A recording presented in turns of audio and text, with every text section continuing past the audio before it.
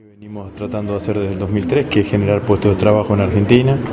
Hemos generado más de 5 millones de trabajos, de puestos de trabajo, pero sabemos que en algunos lugares todavía se hace falta y a veces un microemprendimiento, un taller familiar, eh, siempre ayuda, digamos, ¿no? A veces es el único ingreso, a veces se trata del fortalecimiento del fortalecimiento de un emprendimiento que ya está funcionando, a veces es un ingreso adicional al núcleo familiar. Eh, pero bueno, y desde la Secretaría de Desarrollo Social tratamos de hacer un seguimiento, eh, fundamentalmente cuando se trata de emprendedores que, eh, que a veces el mayor cuello de botella se da en la comercialización, ¿no? Entonces, pero bueno, pero esto es lo que estamos haciendo, así que la verdad que, que siempre mezclando las dos cosas. Después de acá me voy al Trébol, que presentamos nuestra, ya hay un acto más claramente partidario, que presentamos nuestra lista de candidatos. Eh, y bueno, estamos en campaña, ¿qué le va a hacer? Estamos en fecha. Así, que, así que en estas fechas es, es imposible sí, sustraerse, ¿no? sustraerse, es un año electoral, faltan 60 días para la primaria y otros 60 días para la elección general. Agustín, eh, te queda 125. ¿Cómo está hoy su relación con el campo? 126 puntos. no, me parece que, que hay que ha cambiado el clima social, digamos, ¿no? Ha cambiado sustancialmente. O cambió el clima social o hay escasez de huevos, digamos, ¿no? Alguna de las dos cosas han pasado, digamos, ¿no? No, yo creo que hay, para mí hay un, una mejora de la relación del, gobierno y del espacio político nuestro con, con el sector, que se consolidó a partir de la creación del Ministerio de Agricultura y la designación de Julián Domínguez como ministro de Agricultura. Me parece que a partir de ahí el, gobierno pudo encontrar bas- me- eh, pudo encontrar diálogo y niveles de acuerdo y de consenso con el sector, trabajar juntos en muchísimas cosas. Eh, hemos mejorado sustancialmente, bueno, hay cosas que, que el sector venía reclamando, la disolución del ONCA, se disolvió el ONCA, si bien seguimos con el sistema de compensaciones, pero, pero eso también se, se llevó adelante. La presidenta el otro día anunció la creación del envío al Parlamento de la ley de extranjerización de tierras para evitar la extranjerización, que va a ir acompañada seguramente con una ley, con una nueva ley de arrendamiento, que también era que también era un pedido del sector, creamos la Secretaría de Agricultura Familiar, bueno, Claudia Jacón es la delegada en la zona sur de la, de la subsecretaría de la Secretaría de Agricultura Familiar, estamos trabajando fuertemente allí, tenemos más de 90 técnicos en toda la provincia trabajando con el sector de los pequeños productores, que lo estamos tratando de subir al escalón comercial, digamos, ¿no? Con el monotributo social y con todo lo que esto significa. Estamos con, el plan estratégico agroalimentario fuertemente apostando a todo lo que significa la incorporación de valor agregado en origen. En la provincia ya tenemos tres emprendimientos que están financiados por la Secretaría del Ministerio de Agricultura y realizados con el con el presidente comunal o el intendente y, las delegaciones y las filiales de Federación Agraria, en algunos casos Sociedad Rural en otros, en, en Rufino es Federación Agraria y Sociedad Rural y la Intendencia, en Máximo Paz es, la- el presidente de la presidencia y la comuna con la Federación Agraria, en Villa Minete me parece que es Federación Agraria y la comuna, que son la realización de frigoríficos, la construcción de frigoríficos para animales pequeños, esta idea de convertir la proteína vegetal en proteína animal y, y manufacturarla. Eh, La vieja idea de los viejos mataderos municipales, ¿se acuerdan ustedes, digamos, no?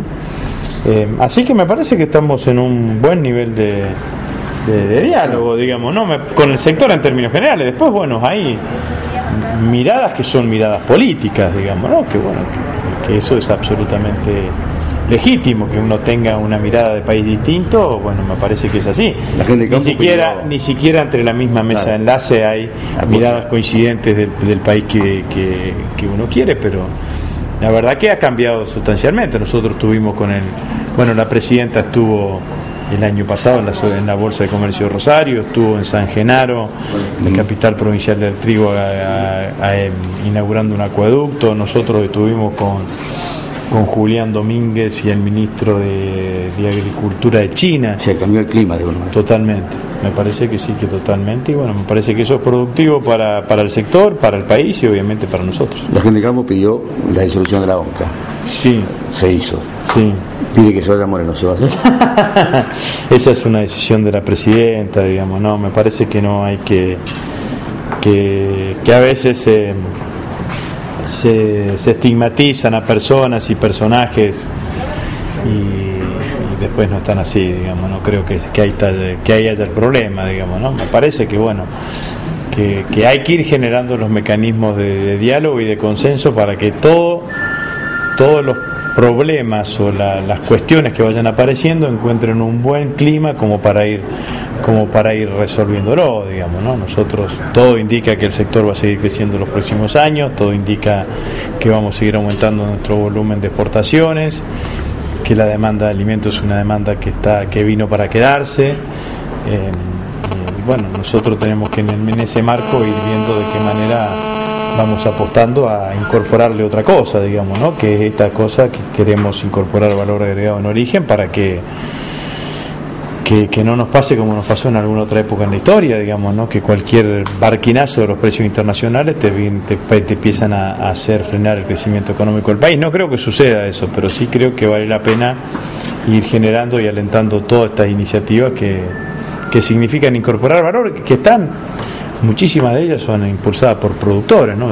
Nosotros tenemos en carpeta que estamos trabajando con productores de Rufino para una, eh, con una fábrica de alimentos balanceados, todas las empresas de biocombustible que están desparramadas en, toda la provincia, las pequeñas, digamos, son hechas por, por productores agropecuarios, algunos individuales, otros asociados, así que me parece que allí hay que poner, hay que poner una gran, un gran incentivo, digamos, ¿no? Como invitado de la Nación, eh, ¿qué le merece, qué opinión le merece eh, el, conflicto con el diario Clarín.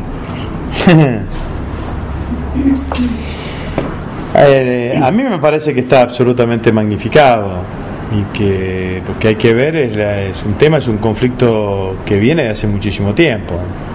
Eh, usted sabe que ninguna de las empresas del, grupo Clarín se pueden elegir delegados sindicales. Eh, y ese es un es más eh, esa la empresa esa arte gráfica paga una multa diaria por no cumplir con la ley de libertad sindical digamos ¿no? entonces me parece que lo que, lo que pasó fue que, ese grupo de empleados que, algunos plantean la reincorporación que fueron echados que fueron echados y sus familiares eh, bloquearon bloquearon la planta no es cierto que la policía federal no actuó Recién viniendo para acá, hablé con la ministra Garré, me dio, no, no, le pedí que me lo mande por escrito, pero ahora iba a hacer una, ella una conferencia de prensa en donde se, se nota lo que hizo la, la, Policía Federal en actuación de, con actuación del juez en forma permanente. Eh, y bueno, me parece que hay un reclamo laboral que es justo eh, y esperemos que se resuelva y que se resuelva positivamente. Ahora el Ministerio de Trabajo dictó nuevamente la conciliación obligatoria y, esperemos que se llegue a un punto de acuerdo y un punto y un punto de encuentro. Después a partir de eso, bueno, se armó todo lo que todo lo que se armó, digamos, en el marco de un país en donde si algo está claro es que cada uno puede decir en el marco de la libertad de prensa lo que quiera, digamos, ¿no? Porque las cosas que, que se han dicho y que se han dicho de este gobierno y de la presidenta, me parece que en todos lados lo pueden decir con absoluta tranquilidad, ¿no? ¿Cómo está de alguna manera la expectativa con el Frente para la Victoria para las elecciones para gobernador? Nosotros tenemos muchas expectativas. La verdad que sentimos que venimos recorriendo toda la provincia con, con un nivel de expectativa creciente, que, hay un, nivel de, aceptación positiva de nuestra propuesta. Nosotros estamos, nuestra propuesta es simple, queremos, queremos hacer los cambios que se produjeron en la nación, que hacerlos en esta provincia. Nosotros creemos que no tiene ningún sentido que mientras la nación vaya en un determinado rumbo, la provincia vaya en un rumbo distinto, que Santa Fe se tiene que terminar de incorporar a la Argentina del siglo XXI, que la Argentina del siglo XXI es la que construyeron Néstor y Cristina, y, que nosotros tenemos que impulsarnos, impulsar una política en este sentido, que eso se desprende de una nueva forma de gestión, un Estado más, más activo, más participativo, un gobierno y un gobernante que resuelva más que comente, que resuelva los problemas y no que, nos pasemos todos los cuatro años de gestión comentando los problemas o quejándonos de los problemas que tenemos. Me parece que, esto, que esto encuentra una respuesta positiva por, por parte de, amplios sectores de la población santafesina, digamos, ¿no? La verdad que uno se va, cruza el túnel subfluvial o el puente Rosario Victoria y encuentra una, provincia de Entre Ríos mucho más dinámica, con mucho más nivel de inversión que la que tenemos nosotros, lo mismo pasa en el norte con el Chaco, y uno se pregunta por qué no lo podemos tener acá. Y yo creo que tiene que ver con, esta idea de despegarnos y, dejar del pasado, por más que el pasado ya haya tenido elementos virtuosos, pero empezar a planificar la Santa Fe del futuro, digamos, ¿no? Hay un nuevo país, es así, digamos, ¿no? Y la provincia sigue siendo la misma y hay que construir una nueva una nueva provincia, aprovechar y potenciar todas las, potencialidades que tenemos. Mire, yo el otro día daba un ejemplo, cuando la presidenta inauguró Yacyretá, eh, la que se llegó a la cota definitiva de Yacyretá, usted sabe, vio que, que hizo una teleconferencia con, con el gobernador del Chaco, que anunciaba que se estaba que se estaba haciendo el acueducto el, acueducto central, 1.650 millones de pesos del acueducto central de Chaco, 40% con financiamiento del Bandes, que es el Banco Nacional de Desarrollo de Brasil, 30% de la provincia y 30% de la nación de la provincia, enganchado o apalancado con el Fondo Solidario, Fondo Solidario, el Fondo Sojero, digamos. Y la pregunta es por qué no lo podemos hacer nosotros, digamos, ¿no? Porque hace tres años y medio que estamos estamos en el mismo lugar con el tema de los acueductos, se llamó una licitación, se cayó, se hicieron un nuevo proyecto, ahora se va a licitar por parte y todavía no se empezó a hacer un metro de acueducto. El único acueducto que se terminó, se terminó, se empezó durante la gestión de, de OEI, se terminó ahora y que fue el acueducto central hecho el 100% por la presidenta, por el gobierno nacional. Entonces me parece que allí hay fallas falla bastante importante. Si el gobernador va a reclamar los fondos que le debe la nación. ¿Cuáles? No sé, Wiener dice, no sé. Ah, ese es un debate, digamos. Yo no, no hubiese, no acompañé al reclamo del gobernador ante la Corte, no lo hubiese acompañado, digamos, no me parece que así se resuelvan se resuelvan las cuestiones, digamos, ¿no? Porque uno encuentra argumentos válidos en dos cuestiones. Si ese 15% de participación de ganancia al ANSES eh, la verdad que, existe ahora, el nivel de prestaciones del ANSES ha aumentado. ¿no? Hay 2 millones, dos millones de jubilados nuevos, de los cuales 200.000 están en esta provincia de Santa Fe, está la asignación universal por hijo, se han aumentado los niveles, los niveles los, niveles de, de, ingreso de los jubilados. Sin ese 15% el ANSES pasa a ser deficitaria nuevamente. Entonces, la verdad que ninguno de los argentinos quiere quiere eso. Me parece que buscar mayor nivel de inversión de la nación en, la provincia eh, eh, hay que buscarlo y conseguirlo siempre, pero de una manera mucho más, más madura. Este gobierno, eh, con lo único que hace obra pública con el Fondo Sojero, dejó de hacer obra pública con, con rentas generales. Y usted sabe que yo no soy ni obeidista ni reutemista, pero el gobierno de Obey hizo obra pública con rentas generales, porque el Fondo Sojero no existía no existía anteriormente. Eh, y, me parece que, lo que hay que buscar es tener una relación madura con el gobierno nacional para que los esfuerzos sean sincronizados y vayan y vayan en vayan en beneficio para, para, la, para el conjunto de la población, porque si no, pareciese que más que conseguir más plata, lo que se busca es quedar en el lugar de, de una especie de chauvinismo provincial, digamos, ¿no?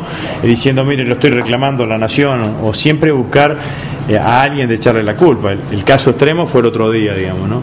Le robaron el auto al ministro de Seguridad y el gobernador solía decir que la culpa era la presidenta, digamos. La verdad es que, que hay que, que asumir las responsabilidades y...